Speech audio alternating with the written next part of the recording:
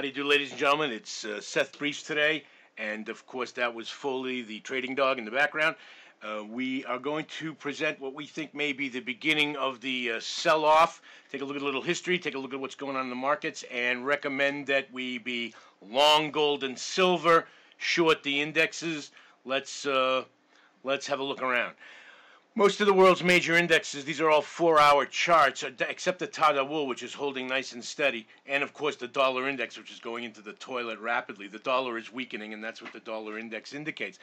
But the CAC, the Nasdaq, the uh, Euro 50, the DAX, the Milan, the Nikkei, of course, contrarily to in the last eight hours, takes a jump up, but that's leave that to the Nikkei. Um, the uh, Australian 200, Johannesburg actually holding fairly steady the uh, Amsterdam down precipitously, and that's for more than two hours here. This goes back a while. The uh, S&P, the FTSE, the Dow, they're all down, and this is, of course, in the, and but I, I do want to put in perspective. So let's see if we can get let's get a perspective on the most representative. This is a four-hour chart of the uh, S&P 500.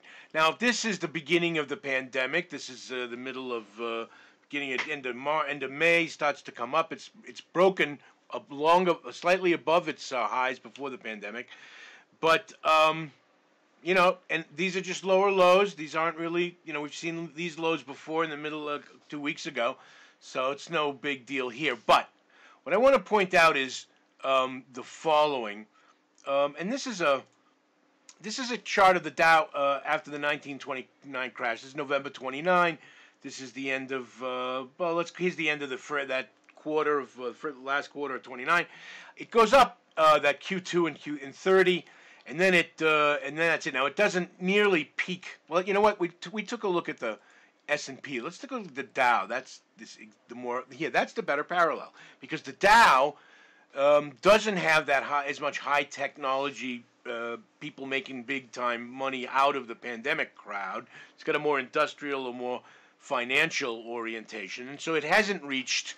Uh, it's about 70% of its pre-pandemic level, which again parallels to not exactly. It doesn't seem to reach about 250, 350. That would be uh, 300, just about next to 50% level. So it's it's it's the same same general pattern, not the same orders of magnitude. But then it's it's. Ah, and this goes down until well into 33 when the New Deal finally starts to kick in. But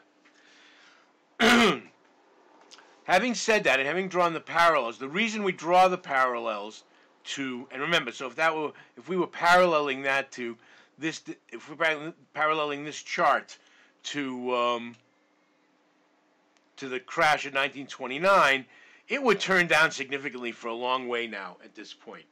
So the question is not even how long. The question is, is it going to turn down at all? Um, it's hard to know. You can see that this this run up has been on very low volume compared to this run up.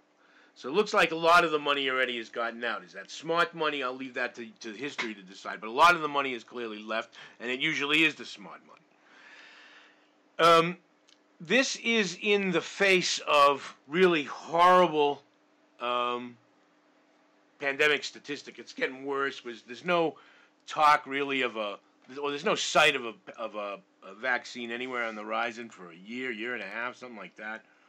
It's bad news. Now, again, when you put these drawdowns of the uh, indexes into perspective, take a look at the Nasdaq. That's the one that's been the most. Um, yeah, the Nasdaq really didn't suffer that much at all, even during the pandemic. Here is the pandemic. Um, where's the big fall in the pandemic? June. Oh, I'm looking at a four-hour. Chart. Sorry. Yeah, here it is, right there. So it's way above the uh, pandemic level, but that's because the Nasdaq is, is is endowed with companies that are making a fortune out of this pandemic. But the other thing we need to couple this with is, and uh, I want to keep this short today, is the precipitous and really really sharp rise in gold and silver. Take a look at gold. Its previous high was 1911, set uh, back in 1920, excuse me, 1922 to be precise, which is right around here, um, set in uh, 2011, 2011. It's well over that. It's going to stay 1949. We could easily see 1950, 1975 this week. because the volumes, and let's drill down a little bit, put this in the days. The volumes driving this up, well, they're falling a little bit here, but you see, this was the sell-off, this was the buy-in, and then from here up, the volumes are pretty steady. Now it's dropped off at this last tail, but so maybe it'll come back to stabilize somewhere at 1750, 1800. But 1800 is still above, you know, the 16, 1700 level which, where it was for months. And so there was a lot of back and forth, and finally the Bulls won out. So it, it's taken a step up. And if that weren't good enough for you, this is really, in many ways, more exciting is the um, silver price because that's up steeply about, I don't know, th- what is it? I figured it out this morning 35.65% in the, in the last, uh, you know, three, four weeks of trading. It's a tremendous gain, ladies and gentlemen. So, what I will end up uh, again by just giving you the quick summary here. Gold and silver are up uh, uh, strongly uh, on on what is likely to be a beginning of another sell-off in the markets. The the markets in general are selling off slightly. I mean, they're not. It's not nothing. You know, it, it hasn't begun yet. This is no confirmation yet, but the sell-offs that we see again. We'll take a look at the Dow. Um, we're right here. The, the news is getting worse and worse and worse. Earnings reports are not doing well. We've crossed over the 20-day. Uh, this is the, this is a. Uh, uh, let's go to a daily, just to make it more relevant. We've well, we're still we're just hitting the 20-day moving average, headed down toward the uh, 50 and 200, which coincidentally are simultaneous. Um, hard to say, but this covered uh, and, this continuing rise on the continually lower volume, I think might be coupled with the gold and silver price, might be indicative of a sell-off. So we're recommending to keep plenty of money in cash. If the sell-off really starts to get out, we're going to get out in big time.